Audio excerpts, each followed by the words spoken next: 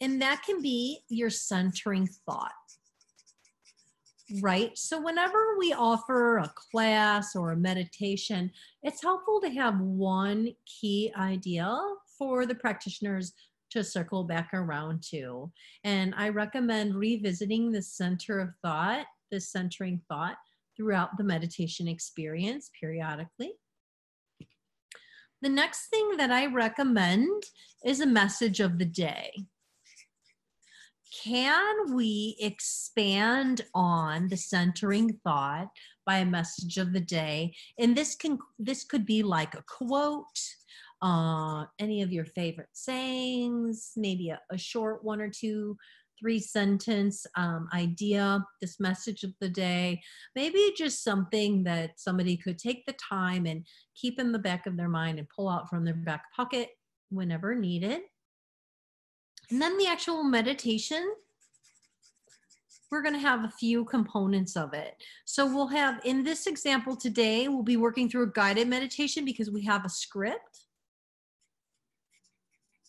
and then there might be either some quiet time, chanting, music, whatever you feel is right for you and your practitioners. And then a closing activity. And for that, I recommend the Reflect and Journal. I feel like we can help our practitioners take a journey in a meditative experience and if they have a moment to jot down in their own handwriting on something that begins to not only be something they can take with them but also reinforce what they've learned another way and then hopefully in the future as they get back to that they could find that moment you know as our brains the chemistry of our brains is just so amazing it's so miraculous as we as we visualize a place in time, a place that we've visited, or something we've done, or a feeling we had, or an experience, our brain oftentimes could perceive that as in the present tense. And the beauty of that is if we learn to harness this, we can teach our practitioners how to find any moment that's beautiful in their lives and summons it to be their present moment. And this can be particularly helpful in times of stress or um, overwhelm, anytime a practitioner is looking to find presence. So try and consider these, these basic pieces of your meditation script. So go ahead and start writing out your basic idea and centering thought. I'll type that in the chat there for you.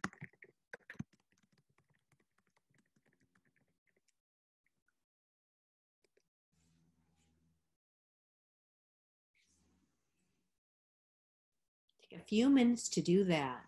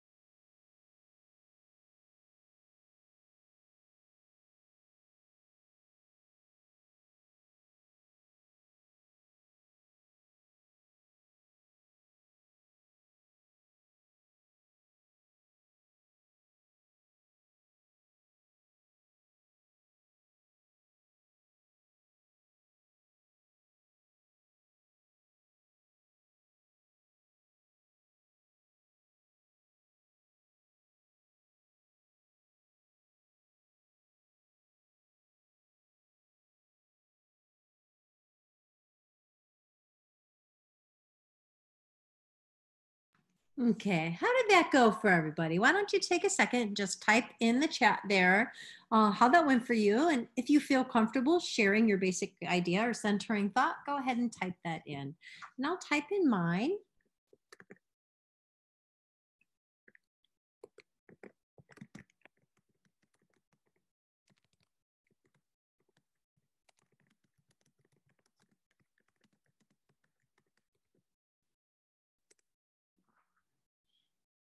Anything you type in the chat, I won't be calling out your name because we are recording this. And then that way you can share without it being suspended in time forever.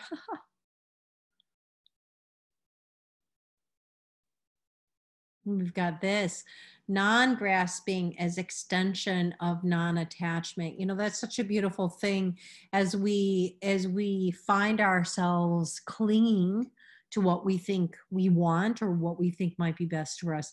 We oftentimes lose sight of the real the real gifts that are brought to our lives. Um, in this way it's it's so powerful to be able to live the eight limbs of yoga. It's another one i am fully in the present moment.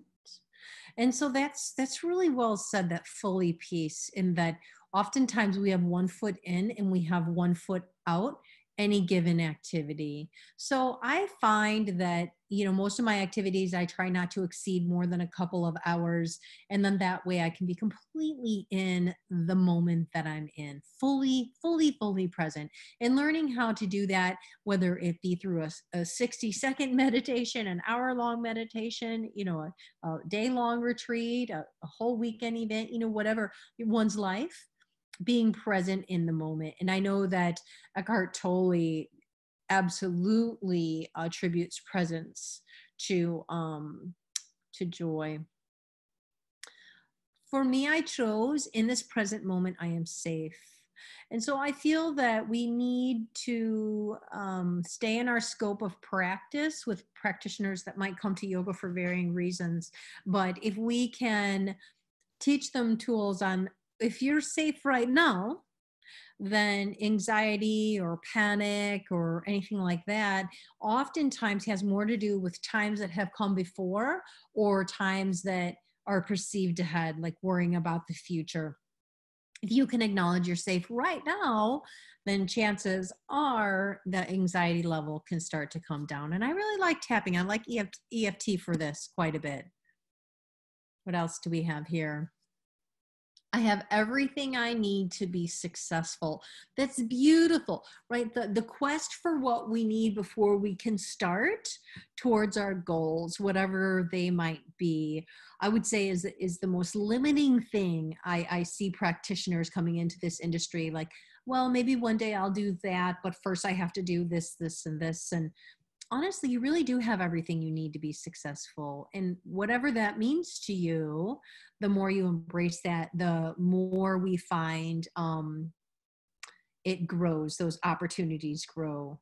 And, and the definition of success even even mutates a little bit which is always exciting to see you know i know what i thought was successful for me turned out to be much different than what i now view as success years later um, we do that one at school.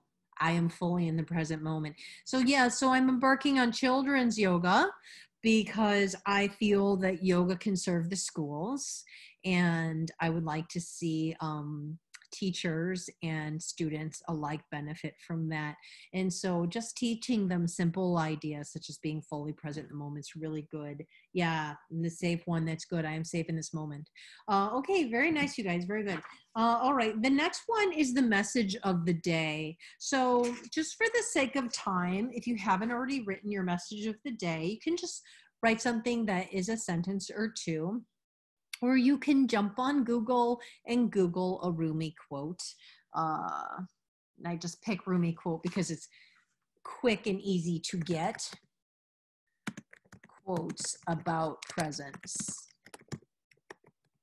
Here you go. Can copy and paste that if you like. Again, that I have everything I need to be successful piece, not overthinking it, not always having it be the most exact perfect thing, you know something that gets the job done. You can always refine it as time goes on.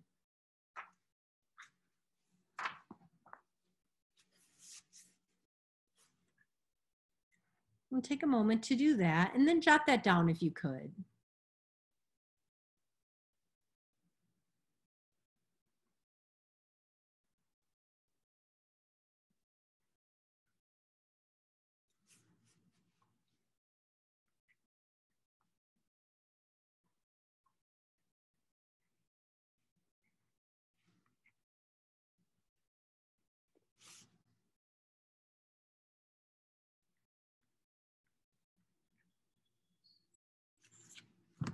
All right, now just type mine in here for you guys that I found.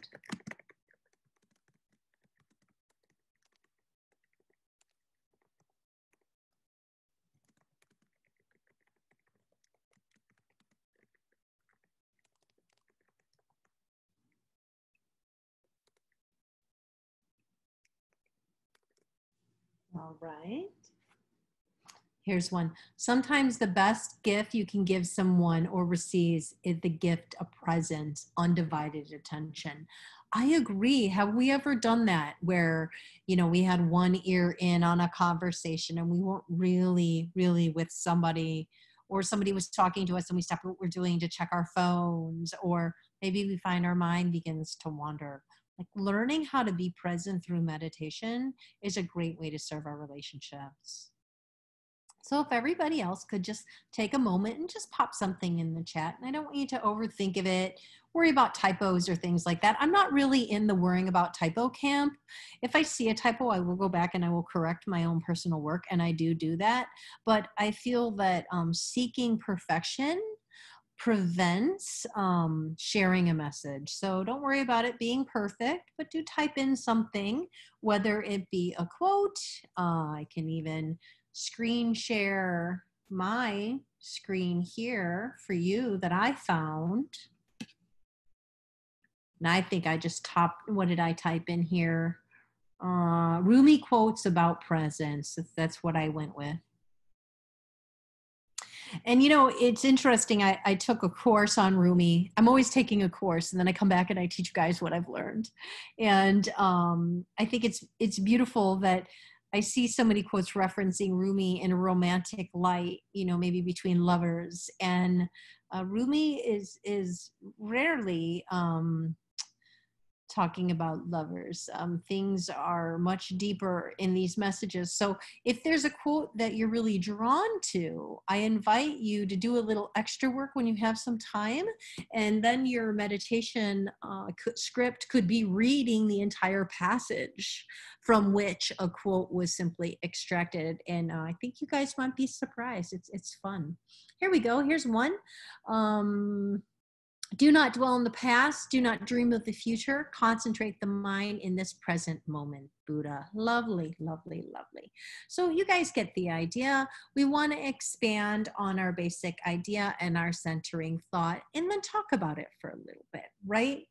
So, when we're talking, we want to be mindful of the cadence of our voice I know sometimes if we're new at something, we might speak a little more quickly, um, especially if nerves kick in, but we really want to try and find a tempo of our voice. The music can be a very, very strong aid in this. Um, you know, for me, I had to work a bit harder for pitch and tone, and there are voice lessons, and I would imagine there's endless um, free resources online, especially right now, that one could go and get some voice lessons. And that doesn't mean that you're not perfect the way you are. It just means that you're spending time and energy man- mastering your craft. Um, I would say that before I mindfully did some work on the, um, before I mindfully did some voice work, which largely was awareness, truly I, I would speak very fast when excited or nervous, and my pitch would get high. And that didn't always work for meditation, as you can imagine.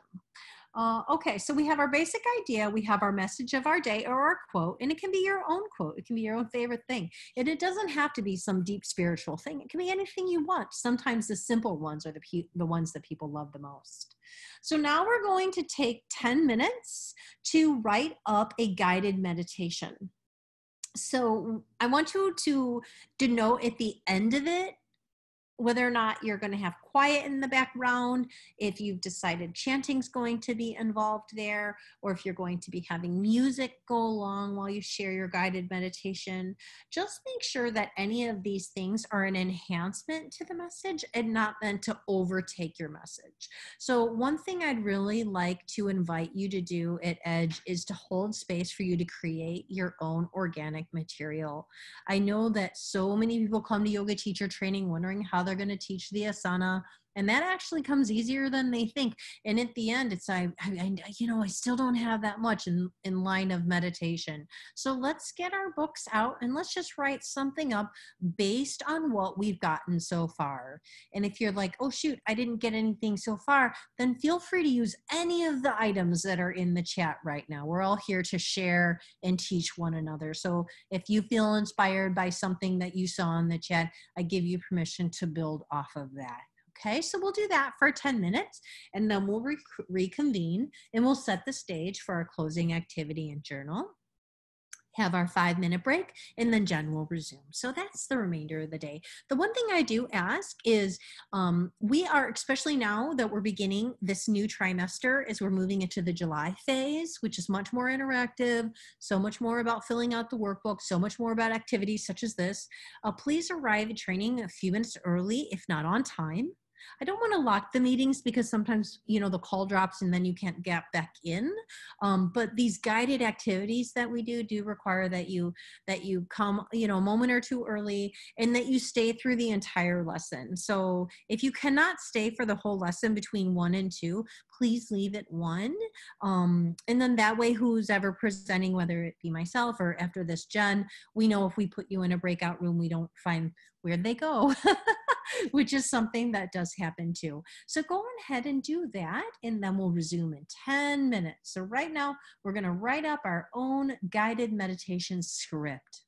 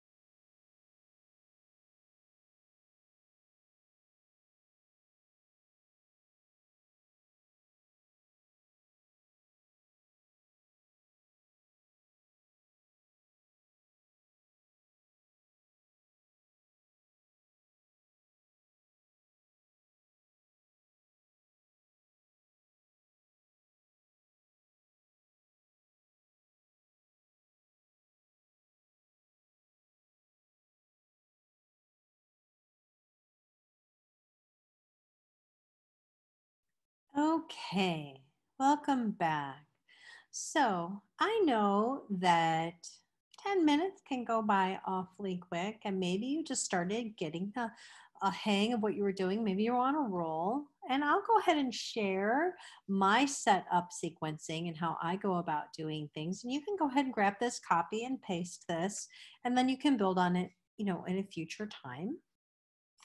For me, my centering thought that we that we did before, or basic idea, is in this present moment I am. In this present moment I am.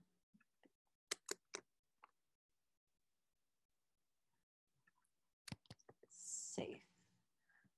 I will copy and paste that. In this present moment, I am safe. So that's the idea that I'm trying to share with my folks. Again, observing my scope of practice, knowing that unless I'm a clinical psychologist, that I need to be very mindful of my word choice. The chant that I'll be using is so hum, and that means I am. So, again, simplifying all of the stories that we tell ourselves in our mind, you know, I need this, I did that, I have this, there's that. I am encompasses a, a sense of safety because if you are well enough to say I am, then there is a safety that can be applied right there.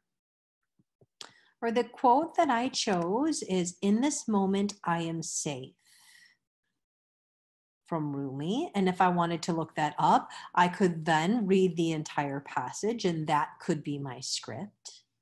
The next piece that I want to pick up is any sort of room setup that will begin before the meditation.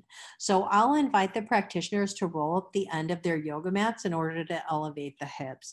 It might be some time before people have yoga blankets and bolsters and things of this nature available to them. And as we were talking about our retreat, especially not if we're out, you know, in grassy clearings, do we commonly have those things. So by rolling up the end of the mat, we allow the practitioners to elevate their hips. And when that happens, the knees can fall and soften the lumbar spine.